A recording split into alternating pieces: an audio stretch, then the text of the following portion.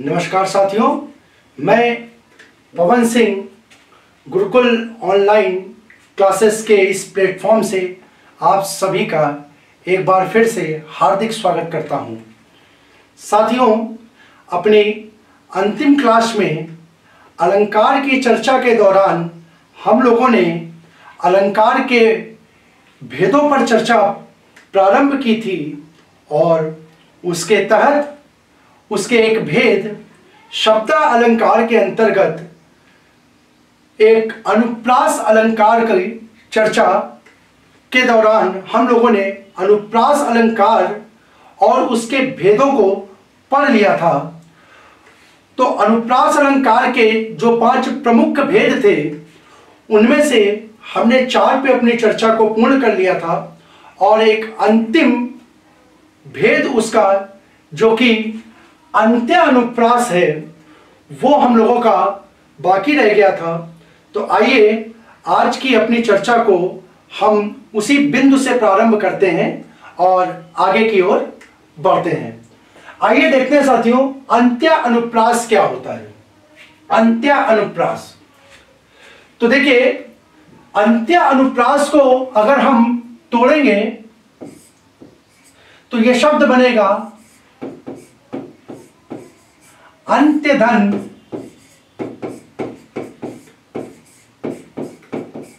अनुप्रास।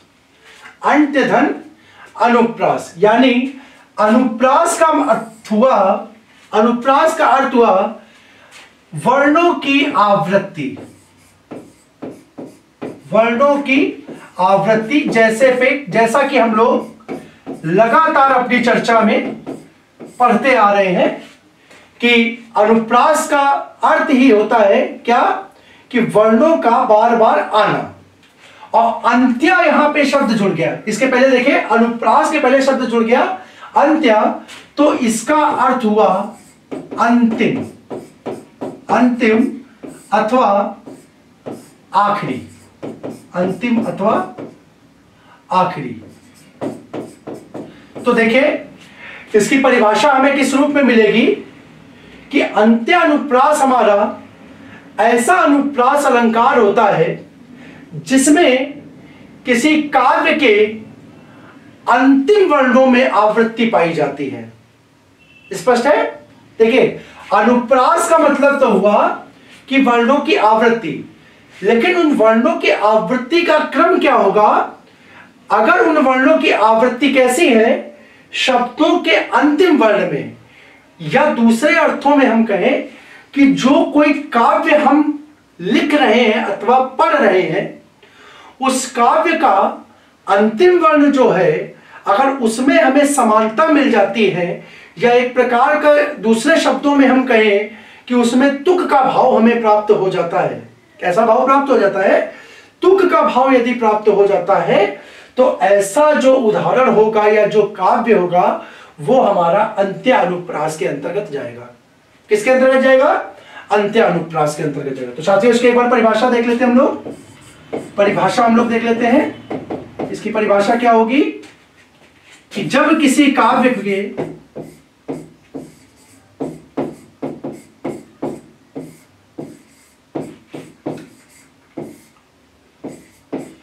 जब किसी काव्य में प्रयुक्त शब्द के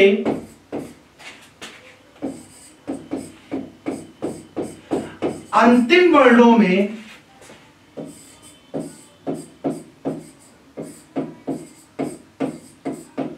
समानता पाई जाती है।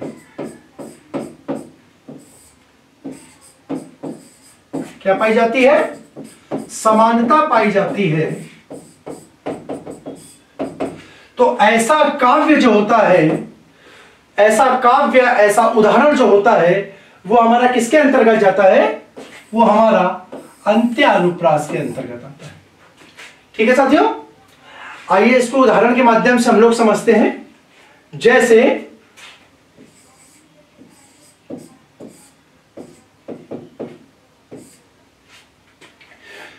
जब हम लोग देखते हैं तो बिहारी जी का एक बहुत चर्चित दोहा है।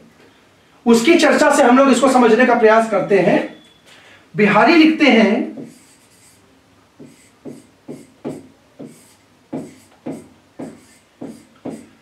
कहत नटत रीझत खिजत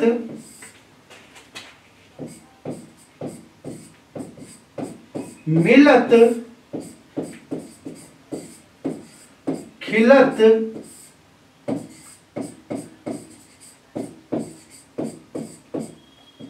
लजियात देखिए, बहुत ही चर्चित और बहुत ही प्रसिद्ध यह बिहारी का दोहा है, ठीक है? और इस दोहे का अपना एक वैशिष्ट है, बहुत सी विशेषताओं को यह दोहा समाहित किए हुए हैं। ठीक है? और विशेष अर्थों में भी इस दोहे का प्रयोग हम लोग करते हैं। देखिए, यहाँ पे जो बिहारी कह रहे हैं अपने दोहे में, वो कहते हैं, अपनी प्रथम पंक्ति में वो कहते हैं कि कहत नटत, रिझत खिजत, मिलत खिलत, लजियात। और दूसरी पंक्ति में वो लिखते हैं कि भरे भवन में करत है नैनन ही सो बात। भरे भवन में करत है नैनन ही सो बात हम लोगों ने कई बार इन चीज़ों को देखा हुआ है, कई बार इन चीज़ों को अपने दैनिक जीवन में या लोगों के मध्य से इस उक्ति को भी सुना हुआ है कि कभी कभी जो बातें होती हैं, या जो भाव होते हैं, या जो विचार होते हैं, उनको बोलने की आवश्यकता नहीं होती है। कभी कभी क्या होता है, जो भी विचार होते हैं, वो आँखों के माध्यम से व्यक्त हो जाते हैं। ठीक है? कभी कभी आपने बहुधा लोगों को सुनते हुए कहा होगा कि अक्सर लोग कहते हैं कि मैंने उनकी आँखें पढ़ ली हैं। आँखें पढ़ ली है कि मतलब उनकी आँखों को देख करके मैंने इस चीज़ को पता लगा लिया है कि वहाँ पर वो उनके मन में क्या चल रहा है या उनकी हमारे प्रति जो धारणा है, वो कैसी है?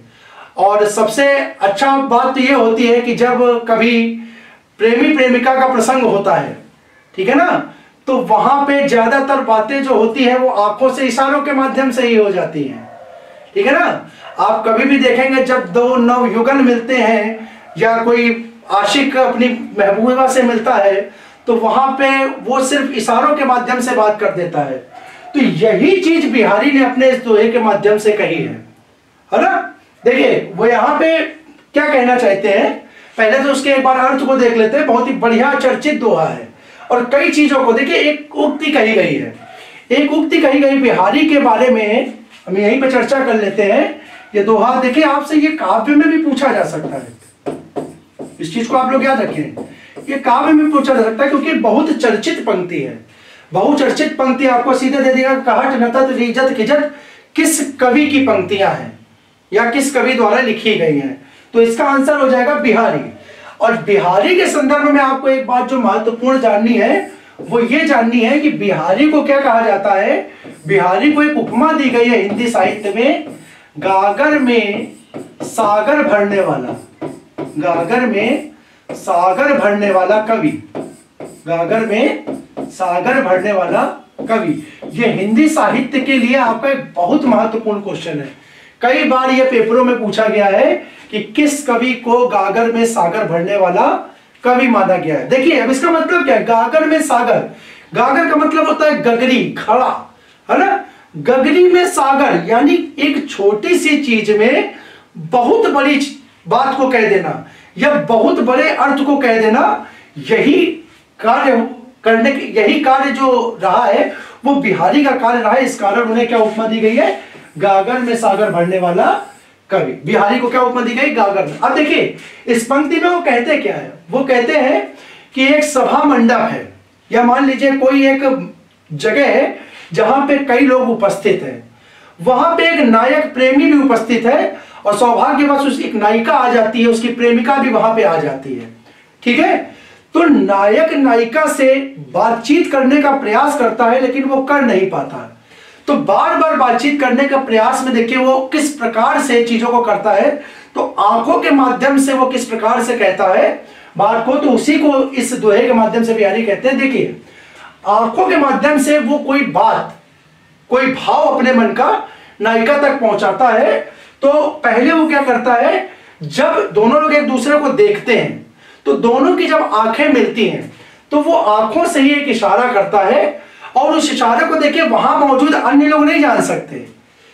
ये कहते हैं ना कि मन ही जाने मन की भाषा, है ना?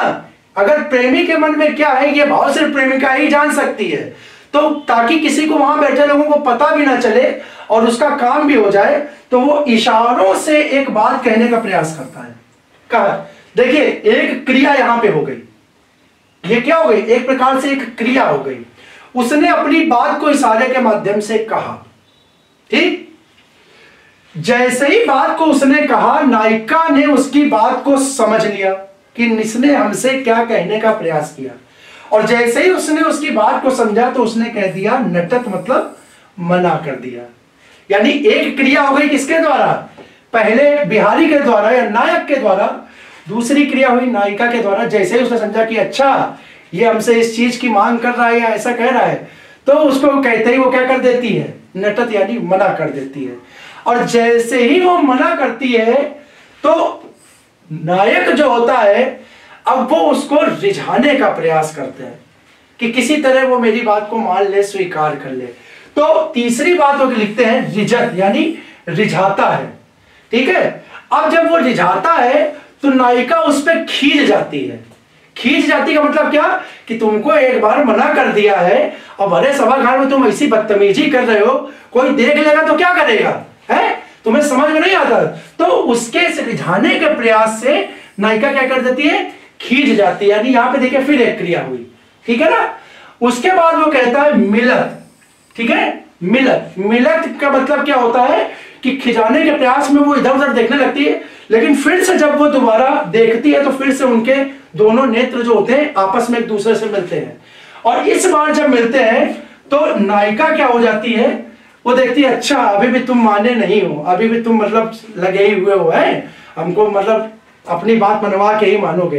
तो इस बात के, इस प्रयास को देख करके उसके मन में क्या होता है? प्रसन्नता आ जाती है, उसका मन खिल जाता है, खिल जाता है। और खिल जाने के बाद क्या हो जाते हैं? जब वो प्रसन्न हो जाती है तो शर्मा जाती है लजियात ठीक है ना? शर्मा जाती है। तो शर्माने के बाद दूसरी पंक्ति में कहते हैं, इस प्रकार से जो नायक और नायिका है, सभी लोगों की नज़रों से बचा करके अपने भावों को, अपनी बातों को एक दूसरे से करके और पूरे सभा मंडप में अपनी बातों को एक दूसरे से कर रहे हैं। भले भवन में करत है, नयन नहीं शोभ। अब देखिए, यहाँ पे अगर देखा जाए तो अब इस पंक्ति की देखिए वैशिष्ट देखिए, इस दोहे का उदाहरण का वैशिष्ट क्या है? वो ये कहता है कि या इस पूरे वाक्य में, जैसे हम कभी वाक्य की परिभाषा पढ़ते हैं चीज़ों को, देखिए, अब आप कहोगे कि सर जी, आप क्या कर रहे हो? अंत अनुप्रास में आप ये लिटरेचर का क्वेश्चन ले आए, क्रिया ले आए तो ये जहाँ पर देखिए कितना महत्वपूर्ण है, इसलिए हम सारी चीज़ों को आपको लिंकअप कर रहे हैं। मूल रूप से जिस चीज़ के लिए एग्ज़ाम्पल लिखा गया, वो तो अभी आया ही नहीं है। ठीक है ना? इसका अर्थ मैंने आपको क्लियर कर दिया। और देखिए, एक और विशेषता, जब हम किसी वाक्य की बात करते हैं, जब हम किसी वाक्य की बात करते हैं तो वाक्य की परिभाषाएँ में हम लोग दो पढ़ते हैं कि मूल रूप से वाक्य में क्या होता है? एक उद्देश्य और एक विधेय होता है। यानी उद्देश्य का मतलब एक कर्ता होना चाहिए और विधेय का मतलब क्रिया अथवा कर्म, उसमें से कोई भी एक या दोनों या अन्य शब्दों का समावेश होना चाहिए। ठीक है ना? लेकिन जब हम इस पंक्ति को देखते हैं, पहली पंक्ति तो देखिए इस पूरी पंक्ति में बिना कर्ता के ही पूरी बात, यानी सारे के सारे शब्द, चाहे वो कहत है, नटत है गिजत है, खिजत है, मिलत है, खिलत है और लजियात है। सारे के सारे शब्द क्रिया के हैं। यानी अगर हम बात करें तो अगर अन्य वाक्य के संदर्भ में बात हम करते तो इतनी, यानी यहाँ पे अगर आप देखें, एक, दो, तीन, चार, पाँच छ और सात, यानी सात क्रियाएँ हुई हैं। अगर वाक्य को बनाने का प्रयास करते तो हमें इन सात चीज़ों को करने के लिए सात वाक्यों की आवश्यकता पड़ती। लेकिन बिहारी ने क्या किया कि इन सात वाक्यों को क्या किया? एक ही लाइन में समाविष्ट कर दिया। यानी देखिए, इतनी बड़ी बात को कैसे? एक लाइन में कह के जा रहा है। यही कारण है कि बिहारी को क्या बोला गया है? गागर में सागर भरने वाला कवि तो उम्मीद करता हूँ कि अगर अब ये प्रश्न आपके सामने पेपर में कभी आएगा कि गागर में सागर भरने वाला कवि कौन है तो आप इस दोहे को चार याद रखेंगे और उस प्रश्न का उत्तर पूर्ण रूप से सही करके आएँगे। ठीक है? आइए अब हम चर्चा करते हैं इसमें अपने जिस संदर्भ में हमने इस उदाहरण को लिया है। अब देखिए, यहाँ पे जितनी भी क्रियाएँ सुने, अब मूल शब्द में पढ़े कि इस काव्य में जितने भी शब्द आए हैं, जैसे कहत है, नटत है, रिजत है, खिजत है, मिलत है, खिलत है लजियात है। इन शब्दों की देखिए शब्दों की एक विशेषता है कि सभी शब्दों का जो अंतिम वर्ण है, ठीक है ना? अंतिम वर्ण, ये देखिए, अंतिम वर्ण इसका क्या है? अंतिम वर्ण इसका ता, ठीक है ना? अंतिम वर्ण क्या है इसका? ता, ठीक है? यहाँ देखिए, ये ता ये ता ता ता ता ता। यानी हर शब्द के अंतिम वर्ण में क्या मिल रही है? समानता मिल रही है। हर शब्द के अंतिम वर्ण में समानता मिल रही। तो अंत वर्णों में समानता मिल रही है अंत शब्दों में समानता मिलने के कारण ये अनुप्रास ये अनुप्रास अलंकार का जो भेद है, वो किसके अंतर आ जाएगा? अंत्य अनुप्रास के अंतर्गत आ जाएगा। किसके अंतर्गत आ जाएगा? अंत्य अनुप्रास के अंतर्गत। इसी प्रकार से साथियों, हम लोगों ने एक चर्चा शुरू में अपने प्रारंभिक अनुप्रास अलंकार के जब चर्चा प्रारंभ की था तो उस दौरान लिया था। हम लोगों ने, हमने एक उदाहरण आपके सामने दिया था, मैत्री शरण गुप्त का बहुत चर्चित उदाहरण था कि चारु चंद्र की चंचल किरणें खेल रही थी जल थल में, जल थल में। अब यहाँ पे अगर आप देखिए तो यहाँ पे जल और थल शब्दों को लेंगे तो उसके अंतिम वर्णों में, है ना, अंतिम वर्णों में भी क्या? ला ला शब्द की आवृत्ति हो रही है। अंतिम शब्द के अंतिम वर्णों में क्या? ला शब्द की आवृत्ति हो रही है। तो वहाँ पे आप क्या कर सकते हो कि उन दो शब्दों में अंतिम वर्णों की आवृत्ति के कारण वहाँ पे क्या लगा सकते हो? अंत्य अनुप्रास लगा सकते हो। कौन सा लगा सकते हो? अंत्य अनुप्रास लगा सकते हो। ठीक है? आइए एक और इसमें एक टॉपर पॉइंट जान ले हम लोग, जो इसका एक महत्वपूर्ण पॉइंट है। वो क्या कहता है? वो ये कहता है कि सामान्यता जो चौपाइयाँ होती हैं, ठीक है ना?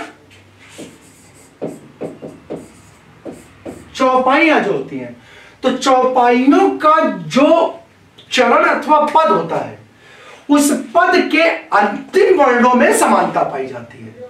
अंतिम वर्णों में समानता पाई जाती है, तुक पाया जाता है। इसका अर्थ यह हुआ कि चौपाई के चरण में जो अंतिम वर्ण होगा, दो चरणों का जो अंतिम वर्ण होगा, वो कैसा होगा? समान होगा तो सामान्यता चौपाइयाँ जो होती है हमारी, याद रखिएगा, सामान्यता जो चौपाइयाँ होती हैं, वो सभी चौपाइयों में कौन सा अनुप्रास पाया जाता है? अंत्य अनुप्रास पाया जाता है। कौन सा अनुप्रास पाया जाता है? ये एक महत्वपूर्ण पॉइंट है। इस चीज़ को आप याद रख लेगा कि जो भी चौपाई छंद के उदाहरण होंगे, उनमें कौन सा अलंकार होगा? मूल रूप से उनमें अंत्यानुप्रास तो होगा ही। देखिए, जैसे हम आपके सामने एक एग्ज़ाम्पल लिखते हैं, बहुत चर्चित चौपाई है मंगल भवन मंगल भवन, अमंगल हारी। मंगल भवन, अमंगल हारी। और दूसरी इसकी पंक्ति है, दूसरा चरण है। द्रवम सुदशरथ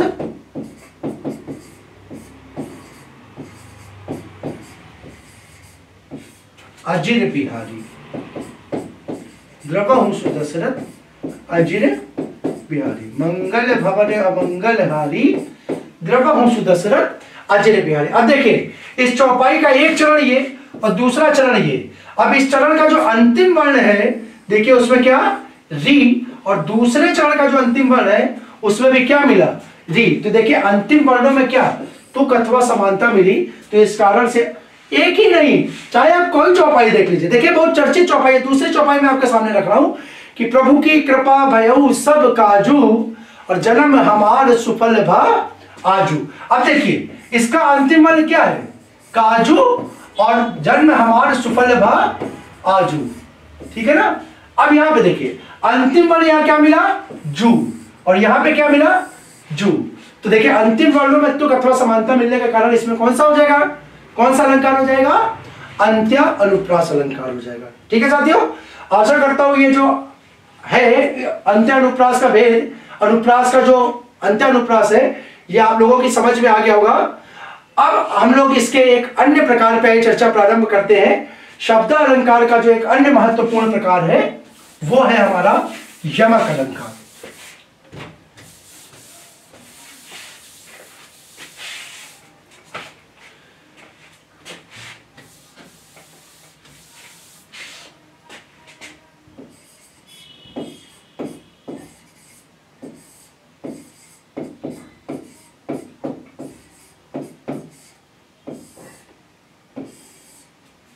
अयमक अलंकार।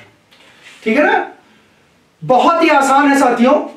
आप बस चीज़ों को ठीक प्रकार से समझते हुए चलें। जो चीज़ मैं बता रहा हूँ, उन चीज़ों में जो तथ्य है, उसको बस समझने का प्रयास करें तो अलंकार आपके लिए बहुत ही आसान हो जाएगा। साथियों, अनुप्रास अलंकार में मैंने आपसे कहा था कि अनुप्रास अलंकार की जब भी पहचान होगी तो वहाँ पे क्या होगा? आवृत्ति होगी। अनुप्रास अलंकार में आवृत्ति होगी। लेकिन आवृत्ति किस चीज़ की होगी? आपको सिर्फ़ ये याद रखना है। जब बात किसकी होगी? अनुप्रास की होगी तो वहाँ आवृत्ति वर्णों की होगी। किसकी होगी? वर्णों की होगी। ठीक है ना? जब हम बात करेंगे यमक अलंकार की, किसकी करेंगे? यमक अलंकार की तो साथियों, यहाँ भी क्या होगी? आवृत्ति होगी। क्या होगी? आवृत्ति होगी। आवृत्ति मतलब दोबारा आएगा रिपीट होगा। लेकिन यहाँ पे जो आवृत्ति होगी, वो किसकी होगी? तो साथियों, आवृत्ति होगी यहाँ शब्द की। शब्द की। अब देखिए, शब्द और वर्ण में क्या अंतर है? ये मैं आपको लगातार कई बार बताता आया हूँ कि शब्द क्या होता है? शब्द जो होता है, वो वर्णों का सार्थक समूह होता है। वर्णों का सार्थक समूह होता है। यानी कई वर्ण जब आपस में मिल जाते हैं, कई वर्ण जब आपस में मिल जाते हैं और मिल करके एक अर्थपूर्ण अर्थपूर्ण या अर्थ देते हैं तो इस प्रकार से जो रचना होती है, उसे हम किस नाम से जानते हैं? शब्द के नाम से जानते हैं। किसके नाम से जानते हैं? शब्द के नाम से जानते हैं। ठीक है ना? तो यहाँ पे महत्वपूर्ण क्या होगा साथी हूँ हमने अनुप्रास पढ़ा तो वहाँ भी हमने पढ़ी आवृत्ति। क्या पढ़ी? आवृत्ति। महत्वपूर्ण चीज़ क्या हो गई? आवृत्ति होगी लेकिन आवृत्ति अगर किसकी? आवृत्ति अगर वर्णों की होगी, किसकी होगी? वर्णों की होगी तो वो क्या कहलाएगा? वर्णों की होगी तो वो क्या कहलाएगा? अनुप्रास कहलाएगा। क्या कहलाएगा? अनुप्रास कहलाएगा। लेकिन यदि आवृत्ति शब्दों की होगी तो अलंकार क्या कहलाएगा? यमक अलंकार कहलाएगा। क्या कहलाएगा? यमक अलंकार कहलाएगा। दूसरी महत्वपूर्ण चीज़ यहाँ क्या है कि आवृत्ति तो होगी शब्द की, यानी एक शब्द जो है, वो एक से अधिक बार आएगा एक से अधिक बार आएगा। परंतु परंतु, इस शब्द के जो अर्थ होंगे अर्थ होंगे, वो अलग अलग होंगे। कैसे होंगे? अलग अलग होंगे। यानी इसकी परिभाषा आपकी क्या हुई?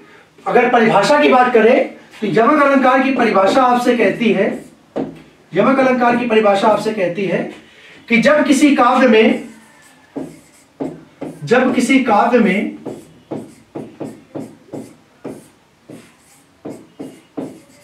जब किसी काव्य में एक शब्द की आवृत्ति हो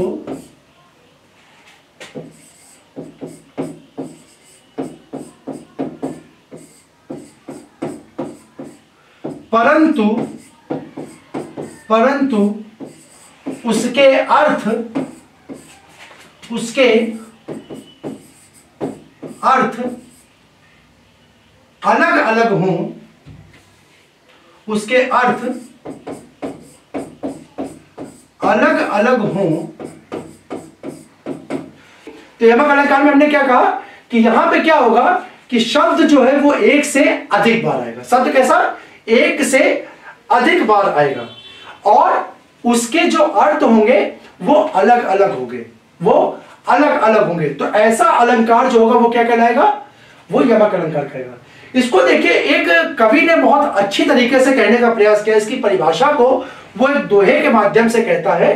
वो कहता है, एक शब्द फिर फिर जहाँ देखिए, बहुत बढ़िया लिखता वो कहता है, एक शब्द फिर फिर जहाँ पर अनेकन बार अर्थ और ही और हो सो यमक अलंकार।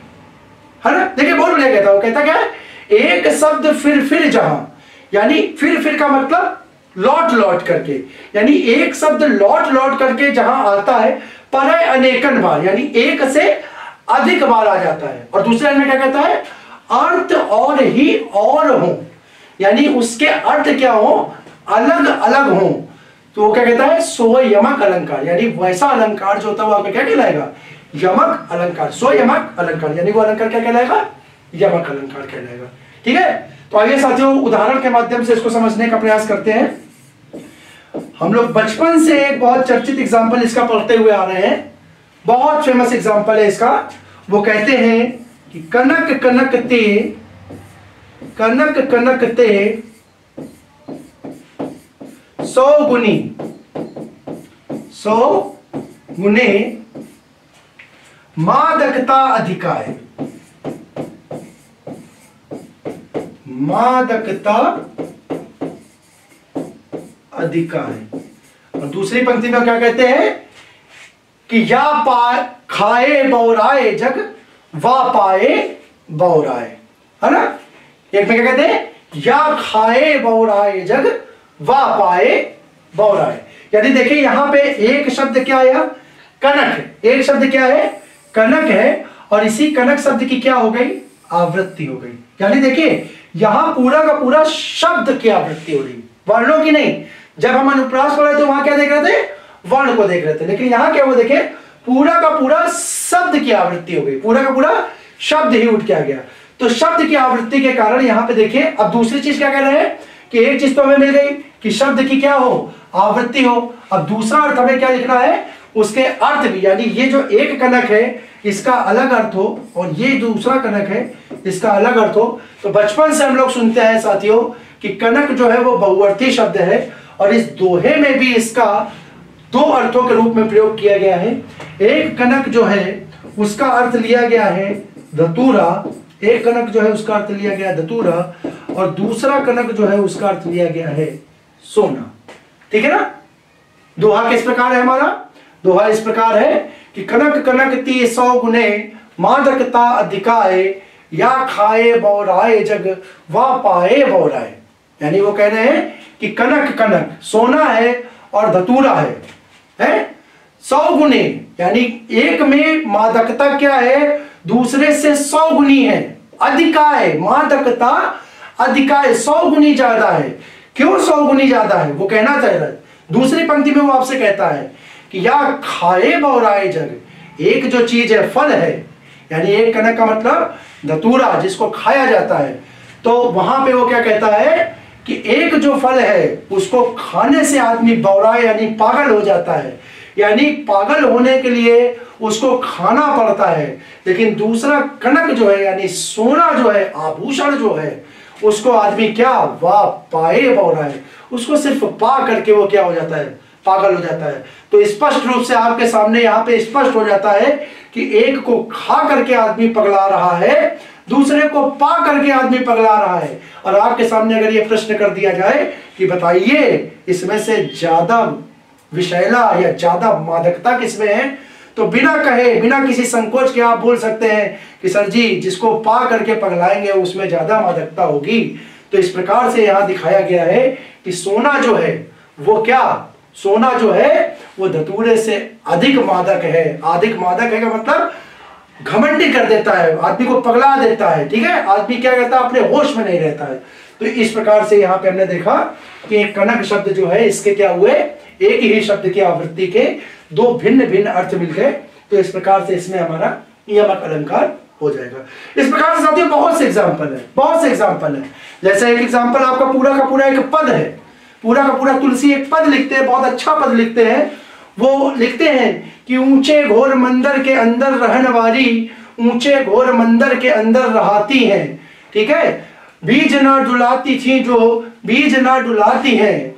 ठीक है? और तीसरी पंक्ति में वो कहते हैं, नगन में जलाती थी जो नगन ही जलाती हैं। और दुई बेर खाती थी वो, दुई बेर खाती है। अब देखिए, पूरा का पूरा उदाहरण जो है आपके सामने तुलसी ने बहुत बढ़िया चर्चा में लिखा कि ऊँचे घोर मंदिर के अंदर रहने वाली, और ऊँचे घोर मंदिर के अंदर रहती हैं। यानी देखिए, मंदिर शब्द की यहाँ पे उन्होंने क्या की? आवृत्ति की। लेकिन एक मंदिर का अर्थ उन्होंने यहाँ क्या दिखाया? कि ऊँचे महलों में, ऊँचे घोर मंदिर का मतलब महल, जो ऊँचे पहाड़ों पे महल बने। यानी रानियाँ जो पहले कहा महलों में रहा करती थी, वो कहाँ रहती है? मंदिर में। यानी दूसरे मंदिर का अर्थ उन्होंने यहाँ कहा लिया? गुफाओं से लिया।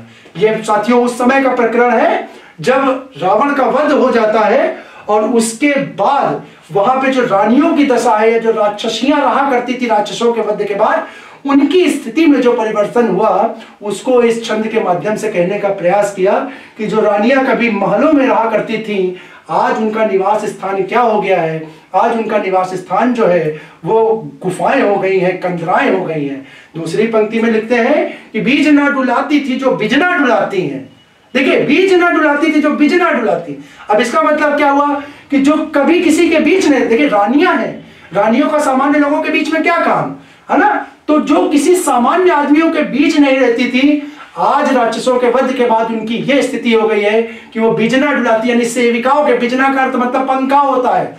आप लोग समझ पाएँगे, बिजना को पंखा भी बोलते हैं, चवर। पुराने शब्दों में अगर हम बात करें तो जो बीच में नहीं डोलती थी, आज वो सेविकाओं के रूप में बिजना डुला रही है, यानी पंखा कर रहे तो देखिए बिजना का भी कितना बढ़िया यहाँ प्रयोग करके दो अर्थ लिए गए। एक अर्थ लिया गया जो कभी बीच में नहीं रहती थी, और दूसरा पंखे से। और तीसरी देखिए कितनी प्यारी पंक्ति लिखी है कि नगन में जलाती थी जो नगन ही जलाती हैं।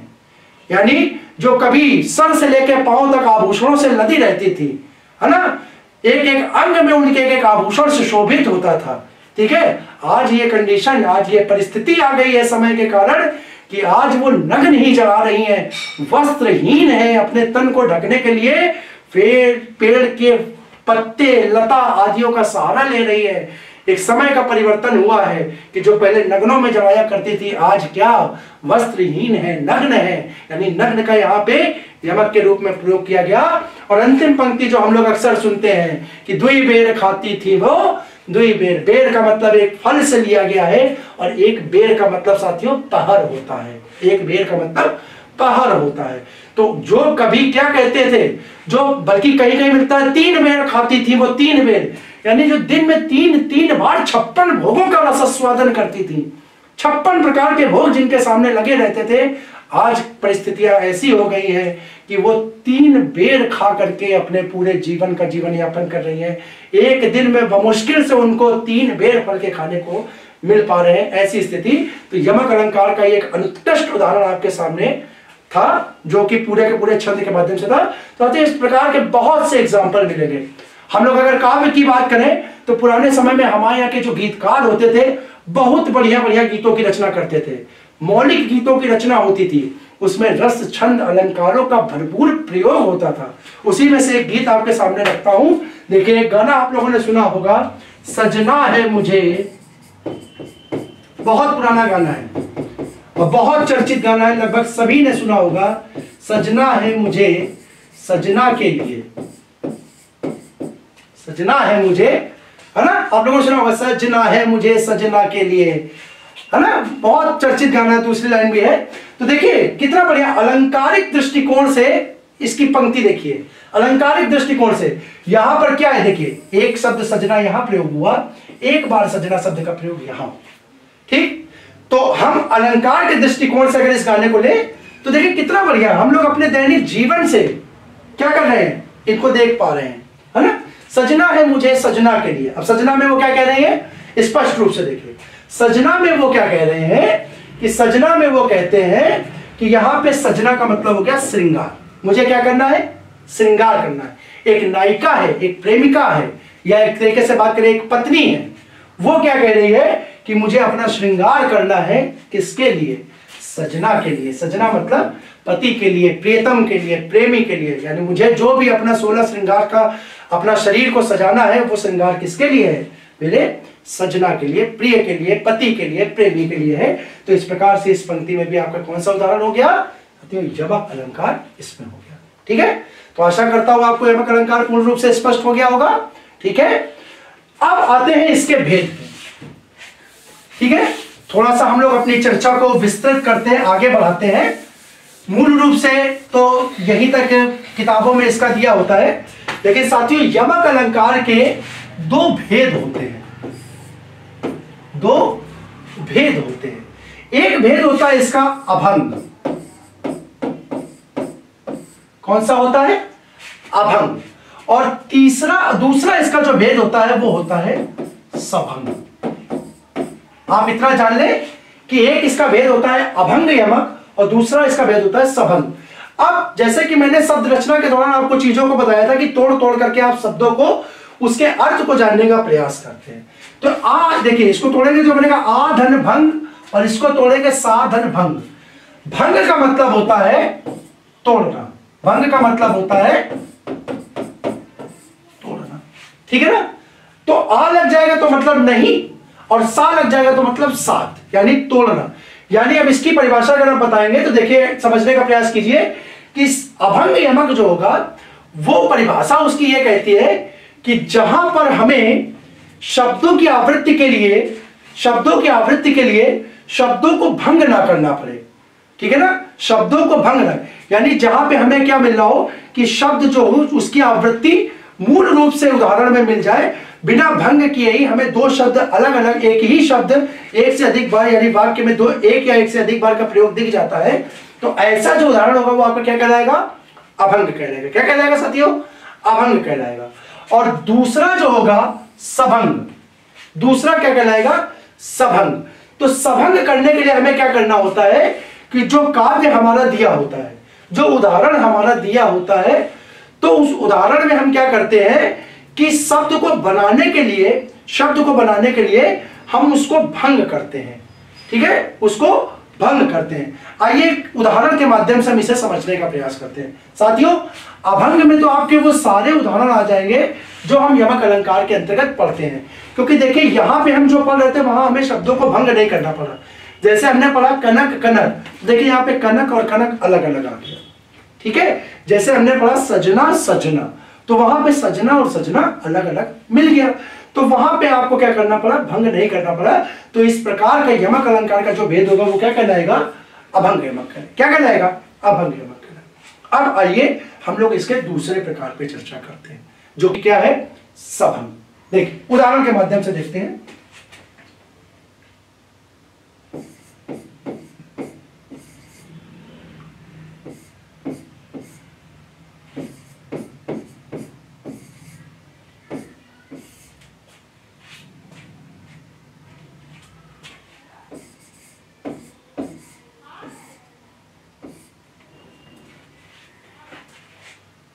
ठीक है ना?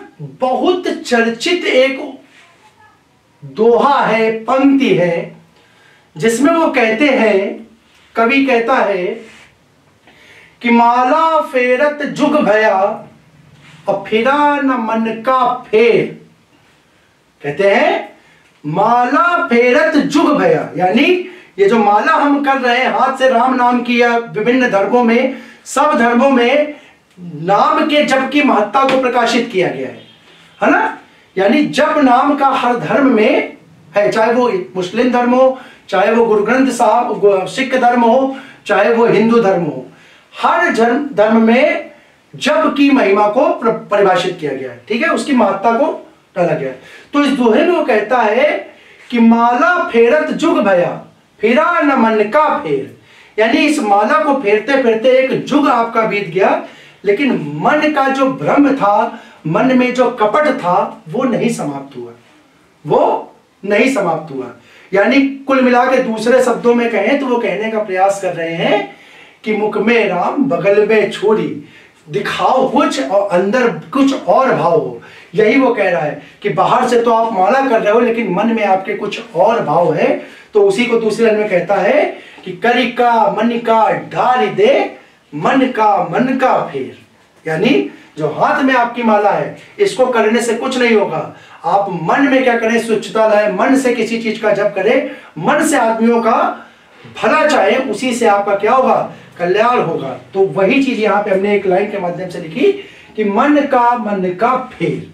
अब यहाँ पे देखिए, यहाँ पे अगर हम आपको दिखाना चाहें तो यहाँ पे आप स्पष्ट रूप से नहीं कह सकते कि यहाँ पे सर किसी भी चीज़ की आवृत्ति हुई है अथवा नहीं हुई है। ठीक है ना? यहाँ पे मन का मतलब क्या हो गया? हृदय हो गया।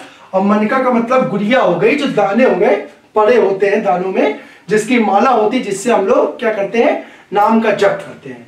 तो अब देखिए, यहाँ पे हम क्या करेंगे कि इसको यमक अलग शब्दों की आवृत्ति करने के लिए हम इस मनका को भंग करेंगे। और मनका को अगर यहाँ से जब हम भंग करेंगे, ठीक है? तो यहाँ से देखिए, अब यहाँ से आप स्पष्ट रूप से देख सकते हैं कि इस उदाहरण में हमें क्या दो मन के उदाहरण मिल हैं। एक मन मिल गया शब्द और एक मन मिल गया यहाँ पे। ठीक है ना? एक मन मिला ये और एक मन मिला ये। यानी यहाँ पे शब्द आए और शब्द के अर्थ, यहाँ पे इस मन का अर्थ क्या हुआ? इस मन का अर्थ हुआ हृदय और यहाँ पे इस मन के अर्थ क्या हुआ? इसका अर्थ हो गया माला का दाना दाना। स्पष्ट है? तो देखिए, जहाँ पे हमें क्या करें? शब्दों की आवृत्ति प्राप्त करने के लिए किसी शब्द को भंग करना पड़ता है। क्या करना पड़ता है? भंग करना पड़ता है। तो यमक अलंकार का वह भेद जो कहलाता है, वो क्या कहलाता है? सभंग अलंकार। क्या कहलाता है साथियों? सभंग यमक कहलाता है। सभंग यमक कहलाता है। तो ये दोनों चीज़ें भी आपके सामने क्लियर हो गई। यहाँ पे अभंग में आप क्या लिख सकते हो? वही लिख सकते हो। दो बेर खाती थी वो। दो बेर खाती थी वो।